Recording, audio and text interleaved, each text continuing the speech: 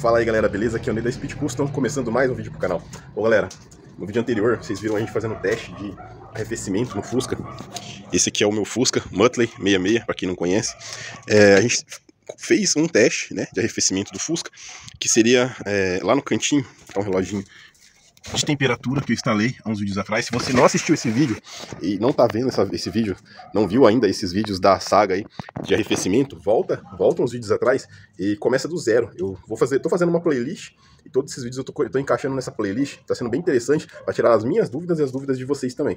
No vídeo anterior, o que, que eu fiz? Eu tirei um sensor, né, que estava instalado é, no cárter, porque ele ficou muito baixo, é, e comprei um sensor novo. Nesse último vídeo eu comprei esse sensor novo, que ele vai ficar um pouquinho mais recuado, cerca de um centímetro aí, mais, mais livre, do, fora do chão, né? E o que, que eu fiz também no vídeo anterior? Eu fiz a instalação dessa lata, que meu Fusca estava sem, tá? Essa latinha aqui. Meu Fusca tava sem. E o meu Fusca tá sem essa lata. Tava sem as duas latinhas que vai ali embaixo, que ela faz o fechamento da saída do ar quente. Ela, ele tá sem a lata que vai aqui atrás da capela, tá? Essa lata eu ainda não vou instalar, eu ainda vou pensar o que, que eu vou fazer é, com essa lata.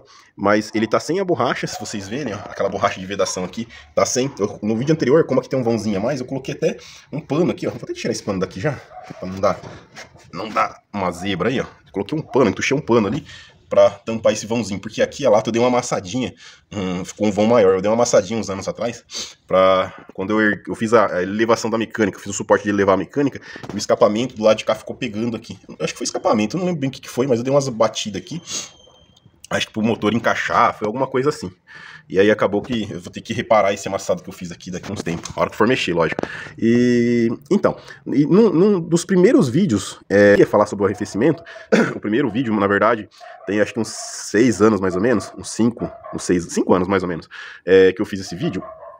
Eu falava sobre é, a ventoinha, as capelas de motor refrigerado a ar e falava a respeito de, de falta, né? Falta dessas latas, que, que isso é, ajuda ao motor esquentar mais do que deve, né? E, a, e no, quando, eu, quando eu voltei a falar disso, uns tempos atrás, eu fiz um vídeo ali com o Zé do Caixão, tá ali no, tá no cavalete ali, e eu mostrei que ele tem uma saída de ar aqui e uma saída de ar aqui, na capela, e essas saídas de ar do Zé do Caixão tá tampada, tá, originalmente é para se sair uma mangueira que entra aqui, que é as mangueiras que entram aqui também, tem um buraco aqui, um buraco aqui, e debaixo ali tem uma peça que chama mufla do ar quente. É uma peça que vai encaixada, no, ela vai presa no escape, de um lado e do outro, e ela manda o ar quente para dentro do carro, tá? E, e, eu comentei ali no Zé do Caixão sobre isso, tava faltando, e falei, ah, foi meio que para re reiniciar esse vídeo falando de arrefecimento. Até foi um dos vídeos que eu falei bastante, e o nosso amigo Antônio falou assim, você fala demais. fala, fala e não, fala, não explica nada. E, na verdade, eu expliquei bastante coisa. Se você assistir o vídeo com cuidado, sem ficar é, pulando partes, vocês vão ver que ali eu explico o porquê que entra, é, o porquê que esses alguns lugares, algumas modificações que a gente faz, ou às vezes até coisas que se perdem é, pelo tempo, porque aquele no Zé do Caixão, ele tem esses dutos de saída e não tem as muflas no escapamento, não tem a lata aqui, não tem nada, não tem as mangueiras, não tem nada. Então, o que, que é, a Volkswagen fez? Eles fizeram uma tampa que é para tampar, ela tampa esse duto de um lado e do outro.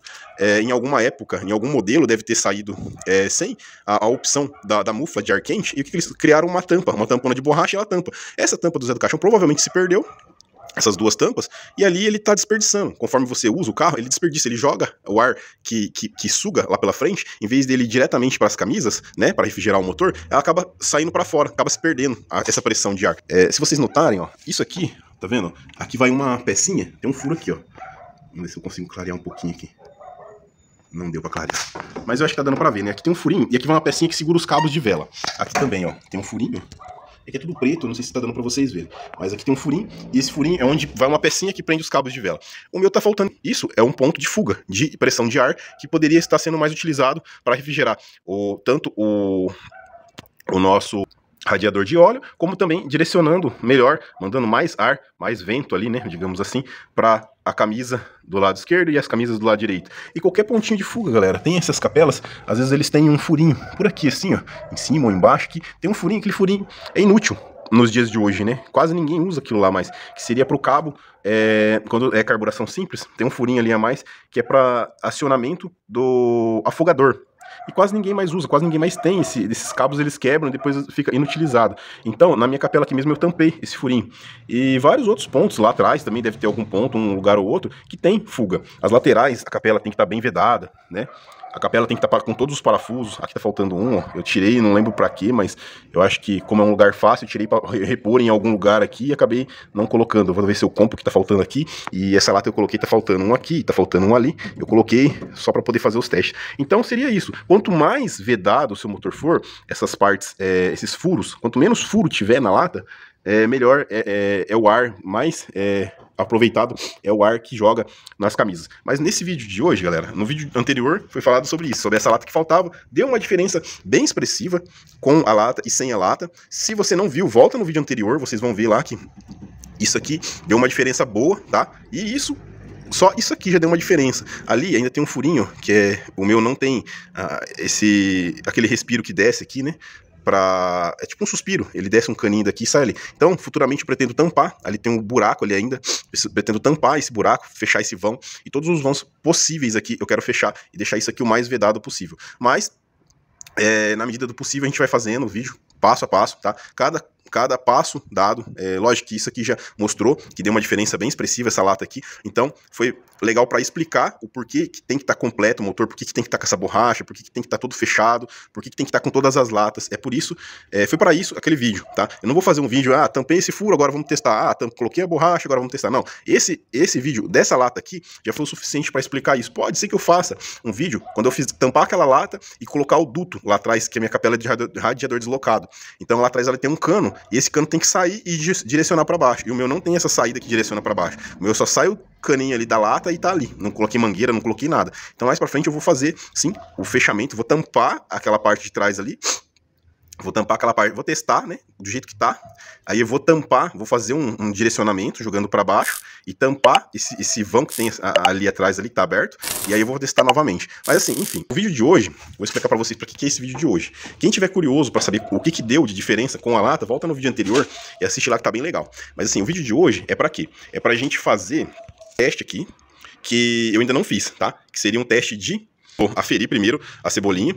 É, vai ser é, o teste para ver a temperatura do cárter, para ver a temperatura do bypass e para ver a temperatura da, do sensor que está aqui posicionado na, no suporte aqui, no adaptador da cebolinha do óleo.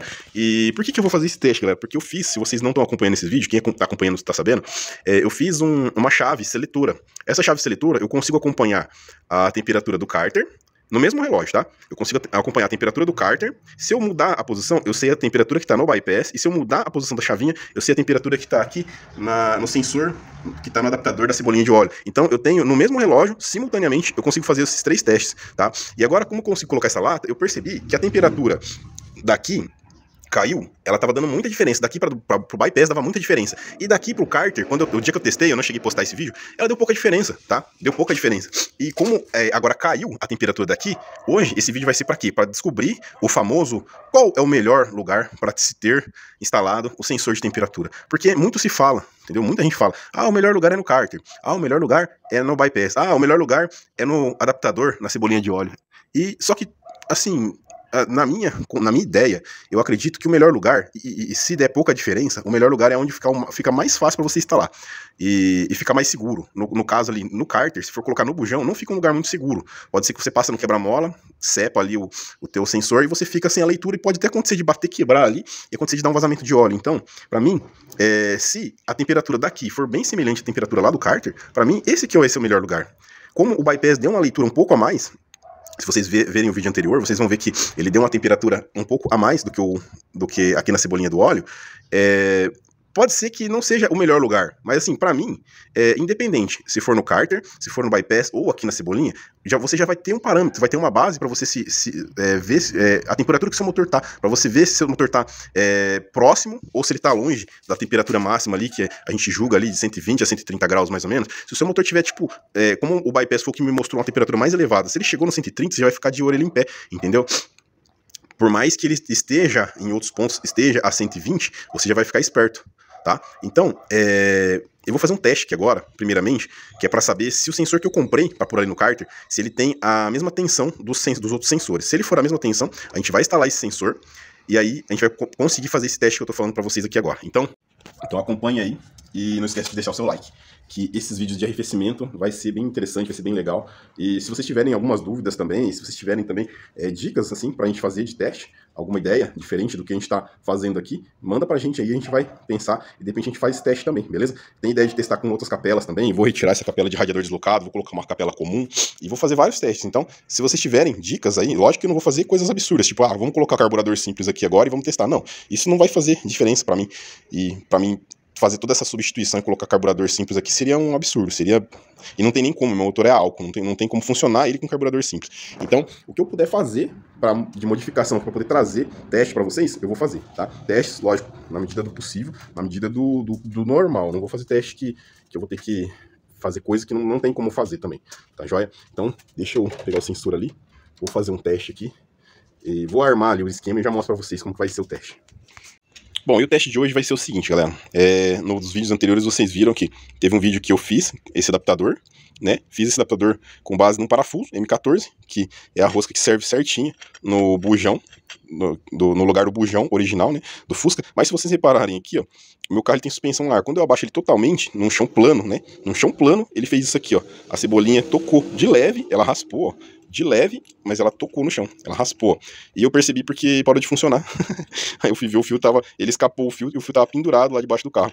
Então, eu estava avaliando, é, num, num, dos vídeos, teve um, um, inscrito que falou, Ney, uso cebolinha, ele passou a referência da cebolinha, e eu pesquisei, ela é a cebolinha do Mercedes, tá? Do motor do, do Mercedes. Ah, Ney, mas Mercedes é a diesel, tá? Mas temperatura é temperatura. Tanto que eu acho, tanto que eu acho, vou fazer o teste aqui agora, e ela serve certinho.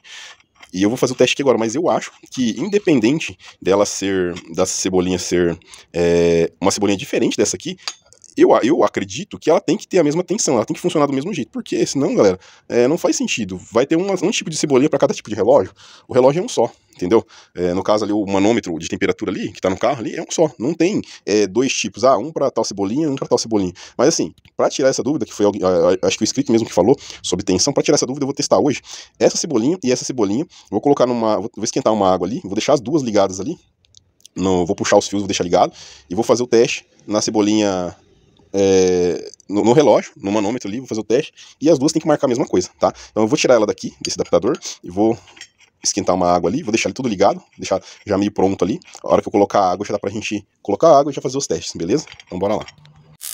Ó, galera, aqui é o seguinte, esse chicotinho aqui, ele passa pra baixo, tá? Tem um furo aqui, tem um furo aqui, ele passa pra baixo, esse fio amarelo é o que pega o sinal do bypass, que fica aqui embaixo, da, por trás da polia do motor aqui embaixo. E esse fiozinho azul aqui é o fiozinho que tá indo lá pro cárter, que eu fiz a ligação lá no cárter, que é o que não deu certo, que raspou no chão e escapou, tá? Então, eu tô usando os dois pra tirar esses parâmetros, daí eu, no amarelo, eu emendei esse fio azul aqui, tá vindo aqui no sensor, e no fio azul eu mandei esse laranjado que tá vindo aqui no outro sensor. Os dois sensores estão meio juntinho aqui, meio um próximo do outro, por quê? Porque eu tive que. Tem esse outro fio aqui, ó, marrom, tá ligado ali, aterrado no motor. Tem que ter o aterramento, senão não vai funcionar. Ele tá vindo aqui, ó, e ele tá enroladinho num sensor e no outro, tá? Ó, nota que ele tá enrolado é, aqui na, na base dos sensores, para dar o aterramento. É, o importante aqui é que não encoste nem o laranjado e nem o azul aqui nesses fios aqui de aterramento, tá? Que se encostar ele vai ligar direto, ele vai marcar o máximo lá, né? Vai, vai aterrar e vai marcar uma temperatura que não, não existe, tá? É, vai, vai marcar o máximo e um tá encostadinho no outro, não tem problema. É só não encostar esse nesse, ou esse nesse, ou esse nesse, que vai dar bom. Aí eu vou esquentar uma água agora, vou pôr uma água quente aqui, e a gente vai ligar lá o painel, a chave, e vamos testar, tá ok? Talvez eu vou até dar partida pra não ficar aquele barulho. Ah, não, vou desligar a cebolinha, que daí para aquele barulho do buzzer lá. Que o barulho do buzzer vai encher o saco na hora que ligar a chave. Então, é, vou lá fazer o esquema da água e já vamos testar isso aqui agora. Bora.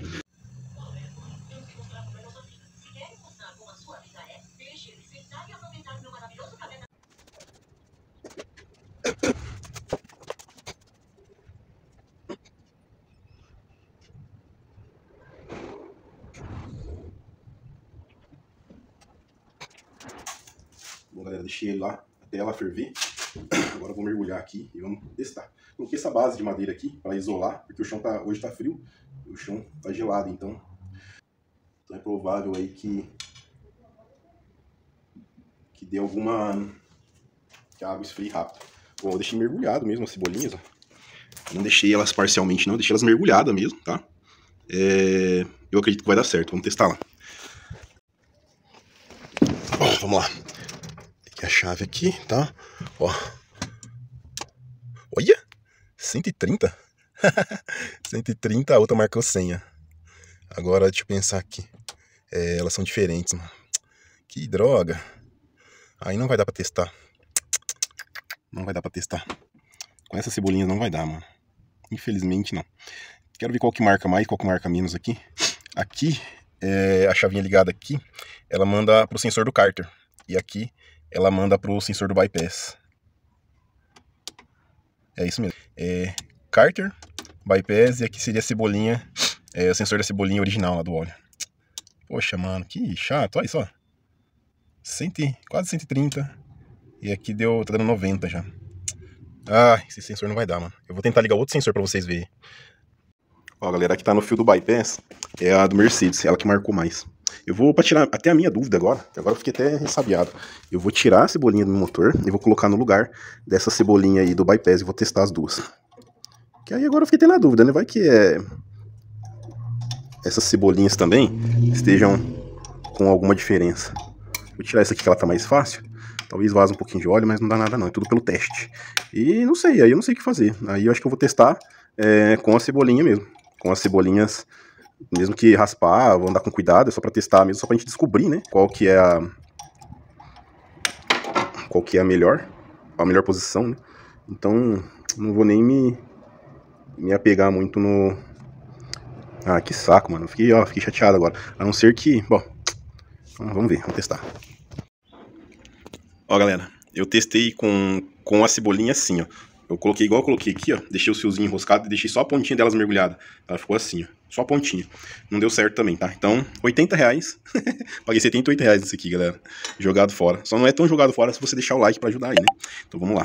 É, coloquei agora as duas cebolinhas que são, supostamente são a mesma marca. São, é, eu comprei no mesmo dia, as duas juntas. Então, vamos testar, né? Vamos testar agora. Lógico que agora já cai um pouco a temperatura da água. Não vai dar a mesma temperatura, mas... Ó, tá dando 70 graus. Ah, é, as duas marcam iguaizinhas. Ó, tô mudando a chavinha aqui, ó. Por mais pra trás pra vocês verem. 70 graus. Marca certinho. Tá dando um pouquinho menos de 70 graus. Mas é... É a mesma... É a mesma referência as duas. A terceira posição aqui não marca nada, tá? Cai o ponteiro, porque o motor tá frio, né? E... Na verdade até desliguei lá do sensor, né? É, meus amigos, então... então eu pulei. Gastei, ó, voltando aqui. Gastei, tá dando um pouquinho menos de 70, ó. Aí você troca aqui na chavinha, ele continua a mesma coisa. Gastei 80 reais aí num sensor que não me serviu para nada. Mas eu aceito o like de vocês. Porque esses testes estão me custando a minha paciência até. Não é só dinheiro, não. então, ó. Bom, tá testado, galera. Cebolinha aqui. Não passou no teste. Se. Bom. Se tiver alguma cebolinha. Mas eu não vou testar mais, não. Eu medi aqui também não dá tanta diferença, não. Ela vai dar uma diferença de uns 5 milímetros. Só para teste. Eu vou manter aquela cebolinha lá mesmo, só para teste. Vou voltar com esse adaptador aqui, tá? E só para teste, eu vou testar aí, vou montar esse adaptador, vou deixar para testar num dia aí que estiver bem tranquilo, tá? Que daí no próximo, eu, eu, garanto para vocês, no próximo vídeo vai ter o teste de. Provavelmente no, no vídeo da segunda-feira, vai ter o teste é, para a gente saber qual dessas três posições passa a melhor leitura. Qual das três? O que, que vocês acham dessas três posições aí? Carter, bypass a, o, o, adaptador ali, a, o sensor que está no adaptador da cebolinha do óleo. Qual dos três? Qual desses três você acha que vai passar, a, vai ser a melhor posição, vai passar a melhor leitura? Qual dos três? O que, que vocês acham? Fala para mim. Então, galera, é, o vídeo foi esse. Testamos aí a cebolinha. É... Dá vontade de chorar, velho. 80 reais, velho. Ah, mas tá testado, né? Deu. É, eu, eu, penso assim. Ela, ela passou bem a mais ali, né? É, para um parâmetro, né? talvez sirva para você usar ali, para você ter uma base, talvez sirva. Mas ela não me passou uma leitura confiável. Talvez ela não é compatível com esse relógio e fim de papo. Então vou ficando por aqui, galera. Espero que vocês tenham gostado do vídeo aí. Se gostou, deixa o like aí. Se inscreve no canal para poder acompanhar sempre que estiver entrando esses vídeos de arrefecimento ou da reforma do nosso Fusca ali do Web ou de algum carro de cliente. É, você está acompanhando esses vídeos aí, beleza? Vou ficando por aqui, um forte abraço, fiquem com Deus e até a próxima. Fui!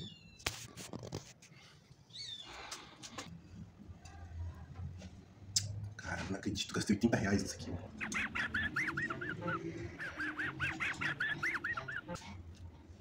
Cala a boca, Matley. Fica dando risada aí. 80 reais, velho.